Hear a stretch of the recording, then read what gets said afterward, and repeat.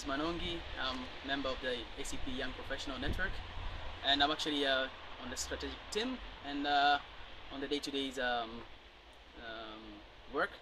Um, I attended the EYE event in Strasbourg.